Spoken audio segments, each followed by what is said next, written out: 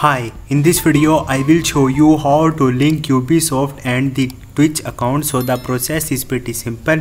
Uh, you you have to create account on both the uh, websites. So once you will log into your account, now open your Twitch and go to the settings from the right top from here and go to the settings from here and in the setting you will see page like this. Now you have to click on the connections from here.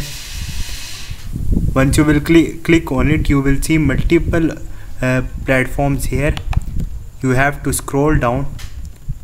And you will see a ubisoft here. Simply i have right now uh, connected my uh, twitch with the ubisoft you will see a connect button like this. So you have to click on connect button and once you will connect on it uh, it will ask for the login details of the ubisoft from you.